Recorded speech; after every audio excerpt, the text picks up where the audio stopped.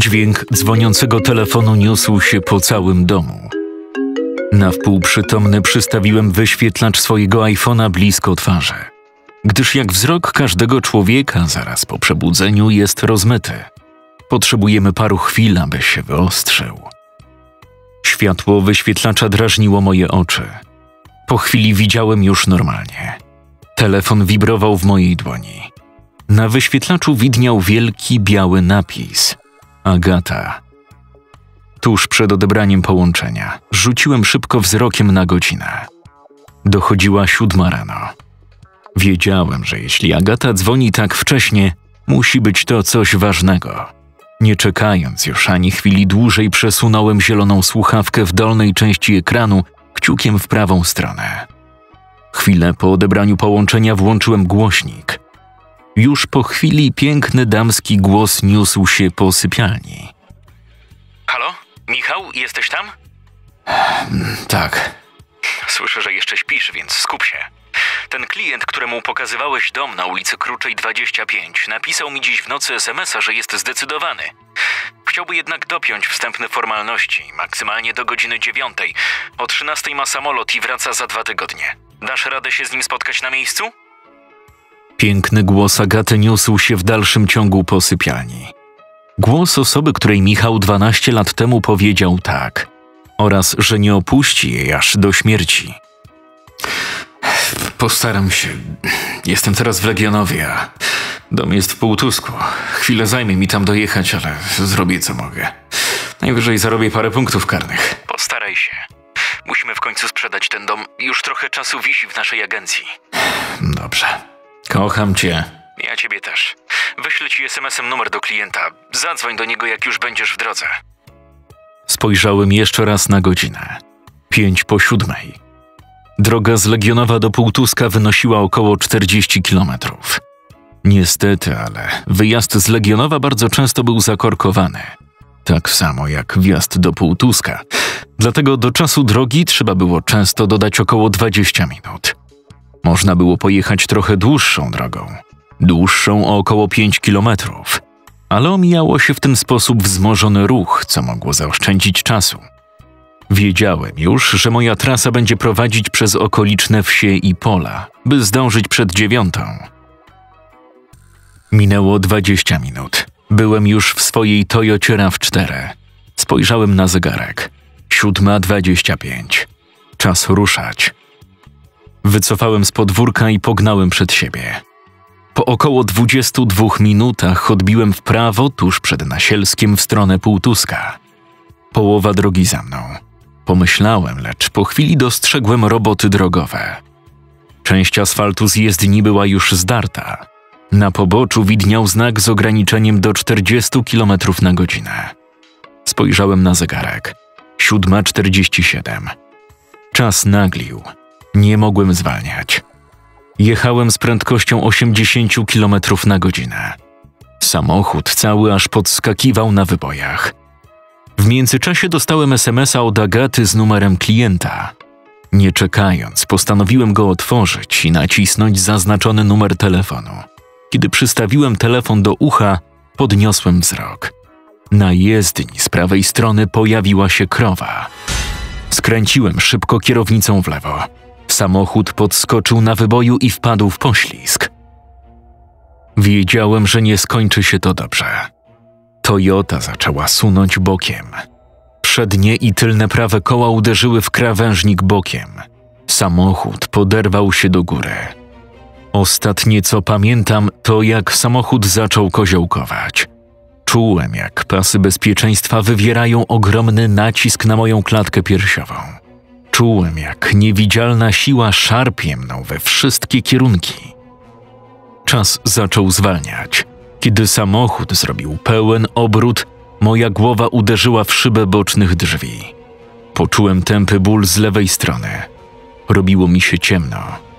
Po chwili samochód przestał się poruszać. Zamarłem w bezruchu. Poczułem, jak coś ciepłego i mokrego spływa mi z głowy na szyję. Wzrok zaczął się rozmywać. Chciałem odpiąć pasy bezpieczeństwa i wysiąść, lecz nie mogłem ruszyć ręką. Spojrzałem na dół. Z okolicy łokcia wystawał czerwono-biały przedmiot. Przyjrzałem się. To była moja kość. Po chwili przez całe moje ciało przeszedł silny dreszcz. Coraz ciężej łapało mi się oddech. Obraz zaczął coraz bardziej ciemnieć. Po chwili nic już nie widziałem. Ból całego ciała zaczął narastać. Zemdlałem. Po jakimś czasie zacząłem odczuwać kołysanie. W moich uszach rozbrzmiewał dźwięk syreny. Po chwili czułem ogromny nacisk na klatkę piersiową. W dalszym ciągu nie mogłem otworzyć oczu. W międzyczasie słyszałem jakieś odliczanie.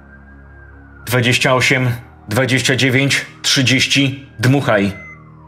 Poczułem, jak moja klatka piersiowa napełnia się. Po chwili odliczanie zaczęło się od nowa. Ucisk na klatkę był mocny.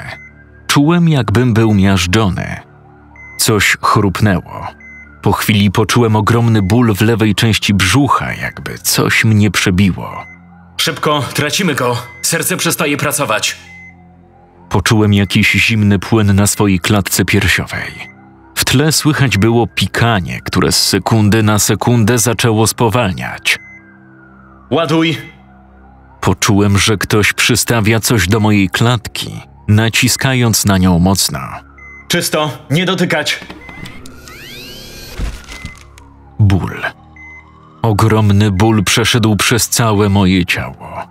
Czułem, jak gdyby wszystkie moje kości zostały zmiażdżone w sekundę. Zemdlałem. Ocknąłem się w dalszym ciągu, nie mogąc otworzyć oczu. Bolało mnie całe ciało. Dookoła panował chaos. Gdzie ja jestem? Przez zamknięte powieki mieniło mi się tylko światło. Czy ja w ogóle żyję? A raczej tak, skoro wszystko mnie boli. Zawołaj doktora Kortczaka. Gdybym mógł się ruszyć, cały bym aż podskoczył. Tajemniczy głos niespodziewanie wybuchł wśród oceanu chaosu gdzieś z tyłu mojej głowy. Musimy operować. Pomóżcie mi go zawieźć na salę operacyjną. Jaka operacja? Przecież ja tu jestem. Nic nie mogę powiedzieć. Kompletnie nie mam władzy nad swoimi ustami. Ból głowy był nieznośny, nie mówiąc już o ręce.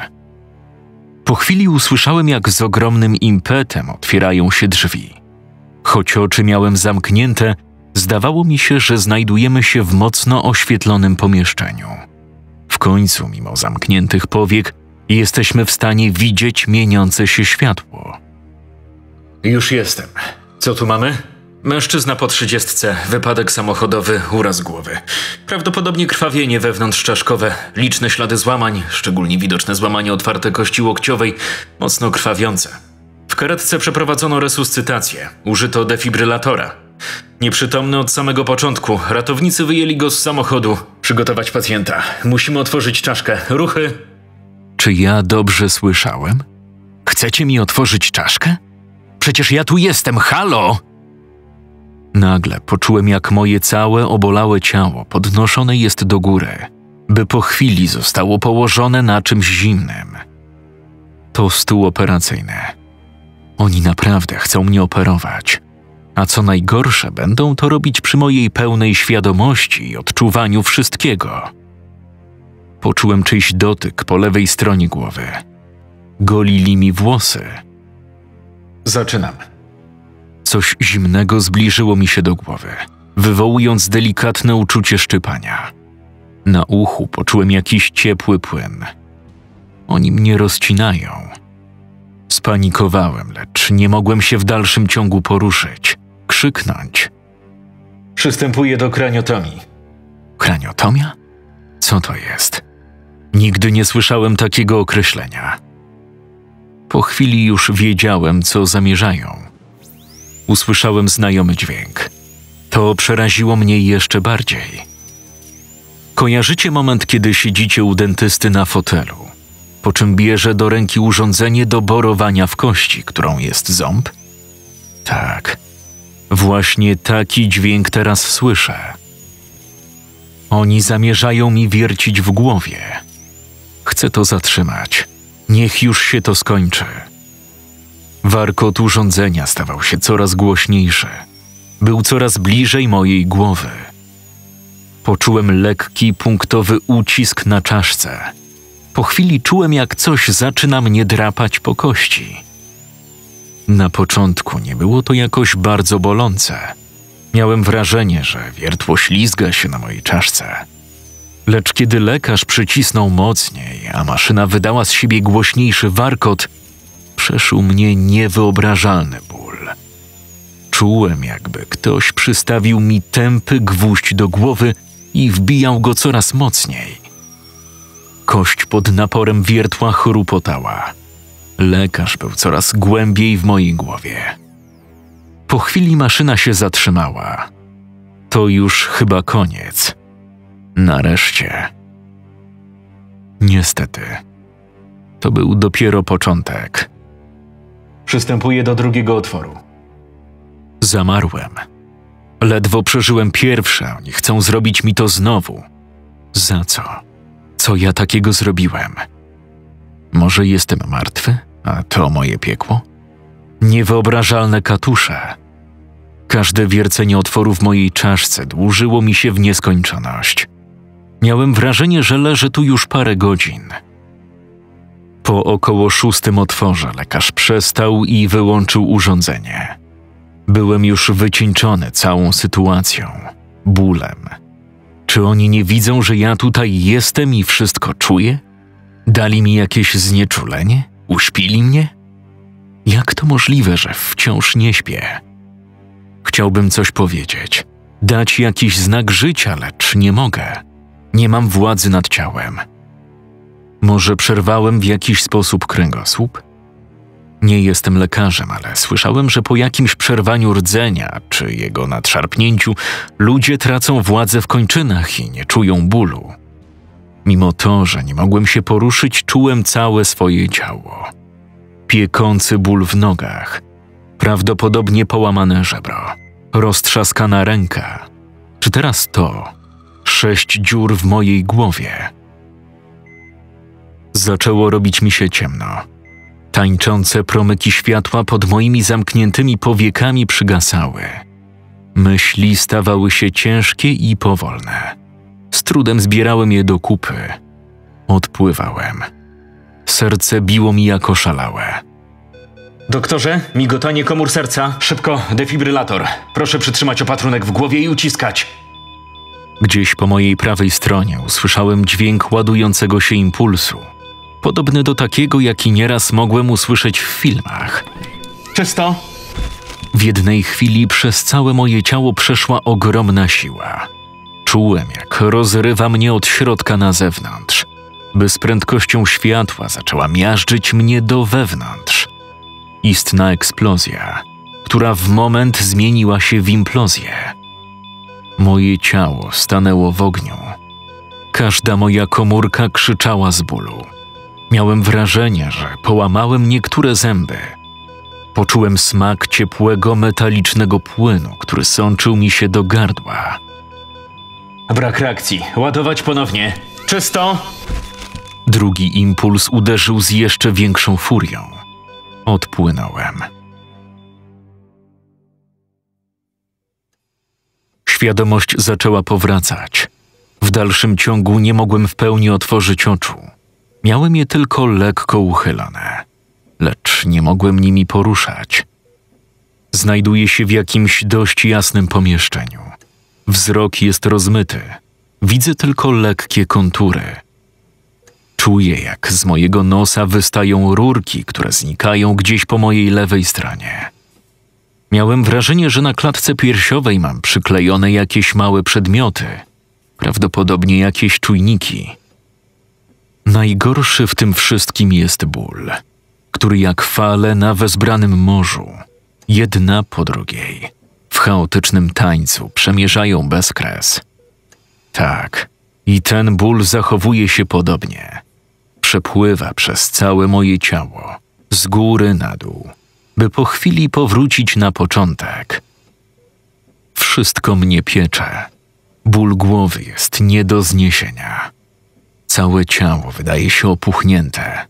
Mam problemy z zaczerpnięciem powietrza, a przynajmniej tak mi się wydaje. Czy to już koniec? Ostatnia chwila agonii, aby zasnąć błogim snem na resztę czasu? Jakież byłoby to wybawienie, tak po prostu zasnąć i nie czuć już tego wszystkiego. Nie czuć tego ciężaru życia, jaki na mnie wisi, jak wielki stalowy łańcuch na szyi. Nie czuć tego bólu istnienia, który z dnia na dzień pogłębia się, obserwując, co dzieje się na tym świecie. Każdego dnia słyszymy o znęcaniu się nad dziećmi, wojnach czy chorobach, o ludziach jako liczbach czy statystykach zgonów, czy to w wypadkach, czy podczas wakacji. Nie czuć tego strachu, który jak koszmar senny powraca w każdej najmniej oczekiwanej chwili. Leżąc tak i zastanawiając się nad sensem naszego ludzkiego istnienia, zdałem sobie sprawę, że ktoś obok mnie stoi. Na swojej zbitej i opuchniętej prawej ręce czułem ciepło czyjejś dłoni. Nie mam pojęcia, kto to. Nie mogę się poruszyć, aby spojrzeć w prawą stronę. Po chwili usłyszałem szlochanie. Wiedziałem już, kto to jest. Nieraz słyszałem ten płacz w swoim życiu. Agata jest przy mnie, tu i teraz, póki śmierć nas nie rozłączy. W tym samym momencie zdałem sobie sprawę, że mimo tego całego bólu egzystencji, który jak ciemność podczas nocy otacza nas codziennie, jest małe światełko, które oświetli nam drogę.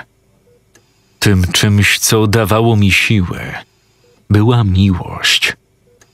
Były też i trudne momenty w naszej drodze ku wieczności, lecz w dalszym ciągu mieliśmy siebie. I kiedy ktoś zaczął zbaczać ze ścieżki, druga osoba ciągnęła go za rękę, naprowadzając na właściwe tory. Agata dała mi również najwspanialszy dar, jaki kiedykolwiek mężczyzna może dostać. Uczyniła mnie ojcem dwójki wspaniałych dzieciaków. To dla nich codziennie pracowałem. Mordowałem się w wyścigu szczurów za lepszym jutrem. Najgorsze w tym wszystkim jest to, że w ogóle w tym momencie nie mam wpływu na swoje życie. Nie mogę się poruszyć, aby dać znak, że wciąż tu jestem. W trakcie moich rozważań usłyszałem otwierające się drzwi. Dzień dobry. Pani jest żoną pacjenta, tak? Tak. Powiem tak. Takie rozmowy nie należą do najłatwiejszych. Ale zacznijmy od początku. Nazywam się Zbigniew Kortczak. Jestem lekarzem prowadzącym pani męża. Przyjechał do nas z wypadku. Przeszedł kilka dość skomplikowanych operacji. Aktualnie będzie przebywał na Ojomie do czasu, aż jego stan się poprawi. Dlaczego nie ma z nim kontaktu? On umiera? Proszę mnie zrozumieć dobrze. Jego stan jest dość ciężki. Aktualnie jest w śpiączce. Ile to potrwa, nie wiemy. Medycyna do dziś nie w pełni rozumie, jak działa ten mechanizm. Może spać przez tydzień, miesiąc, rok. Nie jesteśmy w stanie tego określić. Kiedy jego stan już się ustabilizuje, będziemy próbowali go wybudzić. Na razie lepiej dla niego, aby spał. Oczywiście może pani przy nim być. Jest to wręcz wskazane. Podobno, kiedy jesteśmy w śpiączce, docierają do nas różne bodźce zewnętrzne. Czy mogę jakoś pomóc? Proszę przy nim po prostu być i dać mu czas. Na bieżąco podejmujemy działania, aby postawić pani męża jak najszybciej na nogi. Proszę również mieć na względzie, że droga przed nim może być długa i wyboista. Istnieje duże ryzyko, że po zakończeniu leczenia może być potrzebna specjalistyczna pomoc. Pani mąż doznał dość wiele ciężkich urazów. Ma w pewnym sensie roztrzaskane nogi. Większość takich przypadków kończy się na nauce ponownego chodzenia. Jednak najbardziej martwi nas stan jego głowy. Musieliśmy operować, aby zatrzymać krwawienie i lekko zrekonstruować czaszkę. Nie wiemy na razie, co to da. Mamy nadzieję, że sfera poznawcza i emocjonalna pozostaną bez zmian. Tak naprawdę w tym momencie poza obserwacją dużo nie możemy zrobić. To jego walka, którą musi stoczyć sam. Teraz panią przeproszę. Muszę iść do innych pacjentów. Zajrzę do pani, jak skończę obchód. Po chwili, kiedy zostaliśmy już sami, poczułem zapach Agaty, która wtulała się w moją rękę. Jak bardzo chciałbym ją przytulić, dać znak, że tutaj jestem. Słysząc lekarza, dotarło do mnie, że mój stan jest dość poważny. Nie wiedziałem, co przyniesie jutro. Byłem już zmęczony. Po chwili w pokoju pojawiła się pielęgniarka. Dzień dobry, podam tylko kroplówkę i już państwa zostawiam samych. Poczułem, jak moja cała obolała lewa ręka jest obracana wewnętrzną stroną w górę. Po chwili poczułem, jak jakiś ciepły, wręcz parzący płyn wędruje po mojej całej ręce, by po chwili rozlać się na resztę ciała. Miałem wrażenie, jak gdyby ktoś wlał mi płynną lawę, która powoli zdobywała każdy centymetr mojego ciała. Co to jest? Standardowe leki. Nie chcemy, by wdało się jakieś zakażenie. To tak, jakby na ranę wylać wodę utlenioną. Trochę popiecze, ale zabija zarazki. Proszę się nie martwić, pani mąż prawie nic nie czuje. Śpi. Jak to nic nie czuje? Czy ty, kobieto, w ogóle masz pojęcie, jak to piecze? Boże, proszę, niech to się w końcu skończy. Zaczęło mi się robić słabo. Ból całego ciała, który i tak był już ogromny, został spotęgowany przez aktualnie podawane leki. Gdybym mógł tylko wstać i uciec stąd. Dlaczego w dalszym ciągu nie śpię? Czemu nie mogę się poruszyć? Ciemność zaczęła nasuwać mi się na oczy.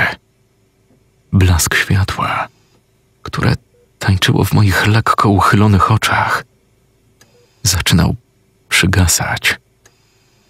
Zasnąłem. Ocknąłem się. W dalszym ciągu bolało mnie całe ciało. Uczucie pieczenia co prawda minęło, lecz jaka to ulga. Cierpię. Cierpię niewyobrażalnie. Gdybym mógł dać tylko jakiś znak, że tu jestem, może coś by się zmieniło. Uśmierzyliby ten ból. Czy to samo czują osoby będące pod narkozą? Lekarz myśli, że śpimy, a tak naprawdę nasze ciało i umysł są całkowicie świadome tego, co się dzieje? Co z innymi ludźmi w śpiączce? Też czują to wszystko, będąc uwięzionymi w swoim ciele i umyśle? Odczuwając wszystko, co się dzieje, czując każdy zabieg czy operację? Po swojej lewej stronie w dalszym ciągu słyszałem miarowe pikanie, które obrazowało pracę mojego serca. Kiedy tak leżałem i rozmyślałem nad swoją przyszłością, tego, co może się wydarzyć, wyobrażałem sobie możliwe scenariusze. Najgorszym, co przyszło mi do głowy, była opcja, że tak już będzie na zawsze. Będę tu leżał, nie mogąc się poruszyć. Ile to potrwa? Mamo, kiedy tata się obudzi? Gdy usłyszałem ten głos, całe moje ciało przeszły dreszcze. Był to głos osoby, dla której zrobiłbym wszystko. Moje dzieci są tu ze mną. Gdybym mógł je choć ten jeden raz jeszcze przytulić, gdybym mógł cofnąć czas, zmieniłbym dużo. Zmieniłbym tę pogoń za fortuną. Większość swojego czasu oddałbym im, mojej rodzinie. Dopiero kiedy nasza podróż przez życie dobiega końca, zaczynamy rozumieć te rzeczy, których nie zrobiliśmy lub chcieliśmy zrobić inaczej. Bardzo często odkładamy to na później, myśląc, że mamy jeszcze czas, którego tak naprawdę z dnia na dzień brakuje nam coraz bardziej. Mi prawdopodobnie już go zabrakło. Przez moją klatkę piersiową przebiegł silny dreszcz, po czym poczułem, jak drętwieje mi cała lewa strona. Moje serce zaczęło bić coraz szybciej. Dźwięk pikania z urządzenia po mojej lewej stronie przyspieszył i stał się bardziej natarczywy. Mamo, co się dzieje? Nic, kochanie. Zaraz przyjdę, muszę pójść po lekarza. Poczekaj tu i nigdzie się nie ruszaj. Zacząłem tracić kontakt ze światem. Czułem, jak gdyby ktoś położył mi rozgrzane do czerwoności kawałki węgla na klatce piersiowej. 150 jednostek dożylnie. Mamo, co się dzieje? Proszę wyjść z dziećmi i poczekać przed salą. Doktorze, tracimy go. Ładować 200 jednostek. Boże, znowu Sprawdzam. chcą mnie usmażyć. Czysto. Ładować ponownie. Wiedziałem, że drugie uderzenie będzie mocniejsze. Poczułem, jak na mojej klatce piersiowej ponownie rozsmarowany został jakiś chłodny płyn. Czysto. Poczułem go w sobie, jak w mgnieniu oka rozchodził się po całym ciele. W tym samym momencie zrobiło mi się ciemno. Ostatnia moja myśl skierowana była w stronę rodziny. Chcę ich jeszcze zobaczyć. Moja świadomość gdzieś odleciała.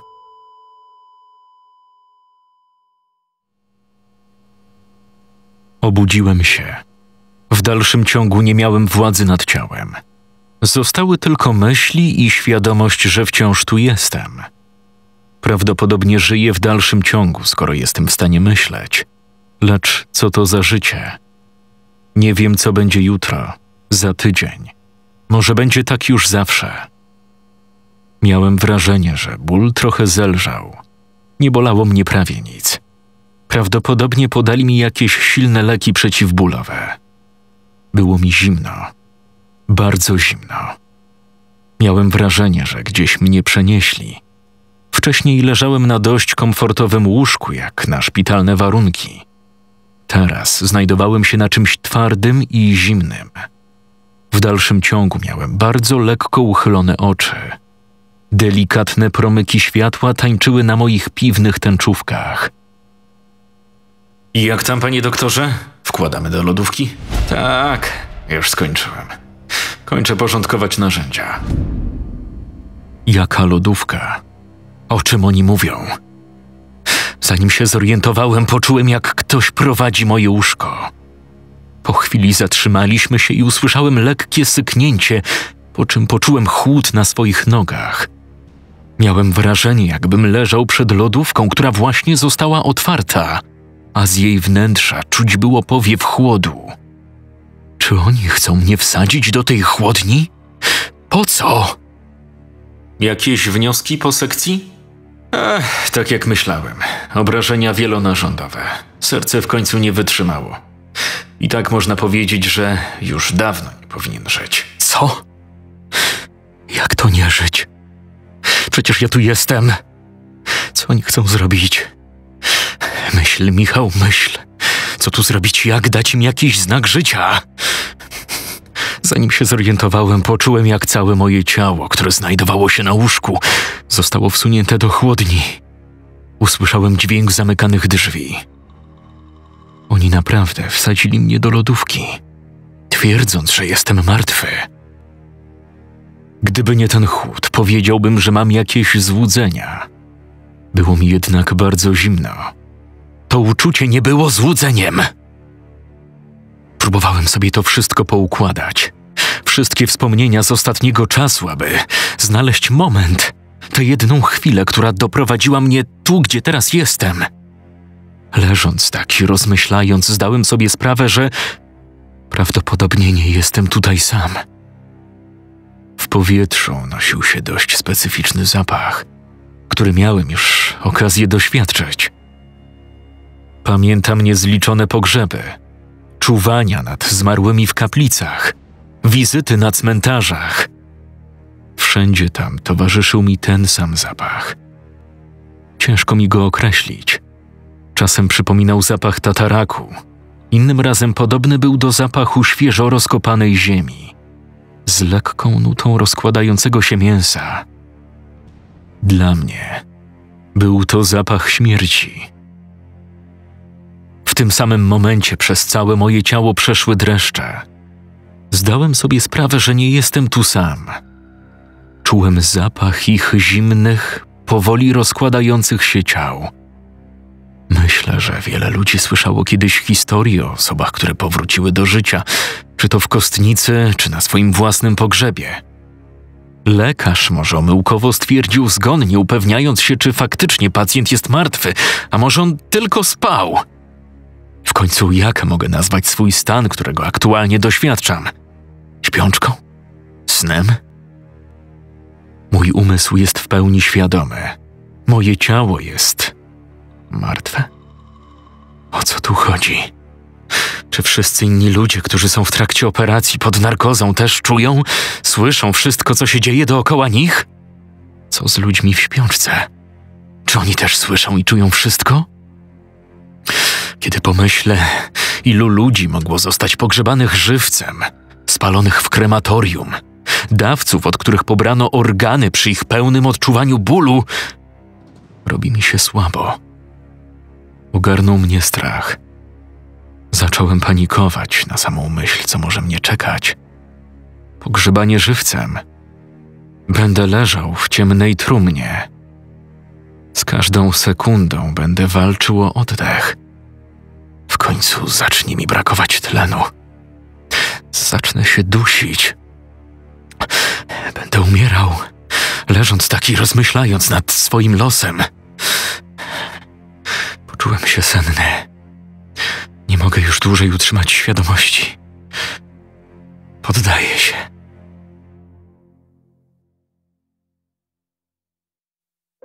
Moja świadomość zaczęła powracać. W powietrzu unosił się lekki zapach kadzidła. Przynajmniej to mi przypominał. Nie było mi już zimno. Wręcz przeciwnie, dość ciepło. Miałem wrażenie, że jestem ubrany w coś obcisłego. Nie umiałem tego określić, lecz czułem, jak całe ubranie przylega do mojego ciała.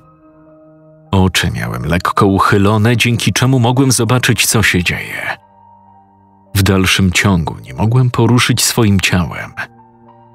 Leżąc tak chwilę i wytężając wzrok przed siebie, zdałem sobie sprawę, że widzę dach. Nie byle jaki dach. Znałem to miejsce. Nie odwiedzałem go często, lecz czasem moja osoba zjawiała się tu, czy to z powodu jakiegoś ślubu, czy innej uroczystości. Był to dach kościoła niedaleko mojego miejsca zamieszkania. Czy to znaczy, że. Nie. Raczej na pewno to nie to. Przecież to nie może być mój pogrzeb. Ja wciąż tu jestem. Czułem, że leżę na czymś miękkim. Miałem wrażenie, że znajduję się w czymś, co przypominało mi trumnę. Zacząłem panikować. Nie czułem co prawda szaleńczego bicia swego serca, prawdopodobnie przez stres, który teraz odczuwałem. Pierwszą moją myślą w tej nowej sytuacji było to, że prawdopodobnie podczas wypadku musiałem uszkodzić kręgosłup i przez to nie czułem swojego ciała ani nie mogłem nim poruszyć. Nazwałbym to paraliżem. W końcu lekarze nie mieli ze mną kontaktu i nie mogli mnie o to spytać, tak? Wyjaśnienie było najbardziej prawdopodobne. Po chwili zaczął do mnie docierać męski głos. Mówił coś o modlitwie za duszę zmarłego. Co on gada? Jakiego zmarłego? Przecież ja wciąż tu jestem. Czy oni tego nie widzą? Z drugiej strony, co mają widzieć? Bezwładne ciało ułożone w trumnie? Niedługo potem moich uszu dotarł głośny dźwięk dzwonu sprzed kościoła. Przed oczami zrobiło mi się ciemno. Na trumnę, w której aktualnie się znajduję, zostało położone wieko. Po chwili poczułem, jak całe moje ciało zostaje uniesione do góry. Dźwięk dzwonów nasilał się. Jesteśmy coraz bliżej wyjścia. Zacząłem panikować. Zamknięcie trumny oznaczało tylko jedno: pogrzebanie żywcem. Płacz żałobników również się nasilał. Próbowałem coś wymyślić. Zmuszałem całe moje ciało do jakiegoś ruchu. Nic to jednak nie dało. Nie mam pojęcia, ile czasu minęło od zakończenia mszy do momentu, aż poczułem, jak trumna została postawiona na ziemi. Po chwili z głośników dookoła mnie dało się słyszeć głos księdza. Usłyszałem lekkie zgrzytnięcie, po czym moje ciało zaczęło być spuszczane do otworu, w którym miałem dokonać swojego żywota. Ale to nie może się przecież tak skończyć. Nie tak. Zostało mi niewiele czasu, aż nikt już nie usłyszy mojego błagalnego stukania. Znaku, że w tej trumnie wciąż tli się życie. Co jeśli jednak jestem już martwy? Ale przecież to niedorzeczne. Inaczej to wszyscy opisywali. Mam tu leżeć razem ze swoim ciałem po wsze czasy? Nie. Ja nie mogę być martwy. To nie jest logiczne. Jestem tu, myślę, odczuwam. Moja trumna zatrzymała się. Nastąpiła chwila ciszy. Leżałem tak, szukając sposobu na ratunek. Po jakimś czasie, może dłuższej chwili, usłyszałem stukanie w wieko trumny. W tym momencie przez całe moje ciało przeszedł paniczny strach. Te miarowe, niewinne stukanie oznaczało tylko jedno: zasypywali mój grób ziemią. To już koniec. Nic nie mogę zrobić. Za chwilę zostanę pogrzebany żywcem na zawsze. Nikt się o tym nie dowie. Głupie myśli zaczęły przechodzić mi przez głowę. Zastanawiałem się, czy od pogrzebania żywcem lepsze nie byłoby spalenie. Przynajmniej śmierć nastąpiłaby szybciej. Chwila bólu. Po chwili wszystko by ucichło i ustało. Powoli, z każdą chwilą stawałem się senny. Podejrzewam, że to przez niedobór tlenu. Nie byłem pewien, ile już tutaj leżę. Dziesięć minut, godzinę, może dwie. Wiedziałem tylko, że nie ma już nadziei. To koniec. Chciałbym się obudzić z tego snu. Naprawiłbym dużo rzeczy. Spędziłbym więcej czasu z moimi dziećmi, z Agatą. Jest już za późno. Czułem, jak powoli zasypiam. Duszę się. Do momentu, aż moja świadomość zgaśnie jak płomyk świecy pozbawiony tlenu, dzieliły mnie już tylko chwilę. Ostatnią myślą był obraz Agaty przytulającej nasze dzieci. Byli szczęśliwi, uśmiechnięci, pełni życia. Zaczęły mi się pojawiać niezliczone obrazy przed oczami, które z prędkością światła następowały jedne po drugich. Ostatnia wigilia, momenty ze szpitala podczas porodu. Widzę siebie przed ołtarzem, trzymając ukochaną w uścisku. Widzę siebie, kiedy pierwszy raz ją spotkałem. Jestem w szkole, odbieram świadectwo maturalne. Widzę ogromną radość rodziców. Jestem pierwszego dnia w szkole. Widzę, jak siedzę z naszą ciocią z grupy w przedszkolu i bawimy się w kto ma chusteczkę haftowaną. Po chwili znajduję się w jakimś dziwnym miejscu. Jest ciasne. Mam wrażenie, że pływam. Słyszę różne głosy z zewnątrz. Słyszę bicie serca mojej matki. Czuję, jak głaszczę się po brzuchu. To jestem ja. Kocham was. Zasnąłem.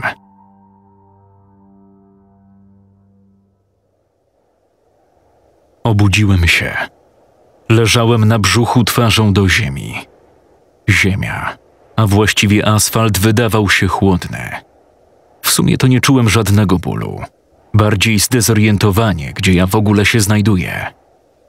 Oparłem dłonie po lewej i prawej stronie głowy. Wyprostowałem się. W tym momencie klęczałem na kolanach, mając ręce wciąż oparte na jezdni. Zobaczyłem, że są całe zakrwawione. Na polu obok drogi znajdowała się dość mocno rozbita Toyota RAV4. Nikogo więcej nie było dookoła. Nie wiedziałem, co myśleć. To znaczy, że. że ja żyję? Ten wypadek był prawdziwy, ale te wizje, te przeżycia to były zwykłe złudzenia? Sen? Podniosłem się i wyciągnąłem ręce przed siebie. Były całe we krwi, bez widocznych cięć czy pęknięć na skórze. Może krew nie pochodziła z rąk. Zacząłem dotykać się po głowie. W dalszym ciągu nie wyczułem żadnej rany. Nic mnie nie bolało. Nieraz słyszałem historię, jak ludzie potrafili wyjść z rozbitego samochodu. Chodzili tak dłuższą chwilę pełni paniki i strachu, by po paru minutach osunąć się na ziemię pełni bólu. Adrenalina robi swoje. Może tak jest i w tym przypadku. Prawdopodobnie musiałem wypaść przez szybę podczas dachowania. Nie pamiętam, czy miałem zapięte pasy bezpieczeństwa. Zacząłem rozglądać się dookoła siebie, szukając jakiejś pomocy, wsparcia. Nikogo jednak w zasięgu wzroku nie mogłem dostrzec. Muszę zadzwonić po pomoc. Muszę zadzwonić do Agaty, powiedzieć, co się stało. Zacząłem szukać telefonu. Nie znalazłem go. Rozejrzałem się dookoła. Może wypadł i leży gdzieś na ziemi. Musiałem podejść do samochodu. Może tam go znajdę. Kiedy byłem już blisko, dostrzegłem, że na siedzeniu kierowcy ktoś siedzi, oparty głową o kierownicę. Kto to jest? Przecież jechałem sam. Przynajmniej tak mi się wydawało. Przyspieszyłem kroku. Chyba nie zabierałem żadnego pasażera, chociaż może przez ten wypadek w mojej pamięci powstały dziury. Po chwili byłem już obok przednich drzwi od strony kierowcy. Na siedzeniu rzeczywiście ktoś siedział. Jego dłonie zwisały bezwładnie. Z czubków palców kapała krew. Poduszka powietrzna nie była łaskawa dla tego biedaka. Nie uruchomiła się. Uderzenie czołem w kierownicę musiało być ogromne. Wyciągnąłem ręce przed siebie i delikatnym ruchem odchyliłem jego głowę w tył. W tym samym momencie zamarłem w ogromnym przerażeniu. Na siedzeniu kierowcy znajdował się. Znajdowałem się ja. To było moje ciało. Co to znaczy? Czy ja nie żyję? W tym samym momencie zacząłem oddalać się od samochodu. Jakaś niewidzialna siła ciągnęła mnie do tyłu. Wzrok zaczął mi się rozmywać. Obraz zaczął powoli ciemnieć, by w końcu ogarnęła mnie nieprzenikniona ciemność.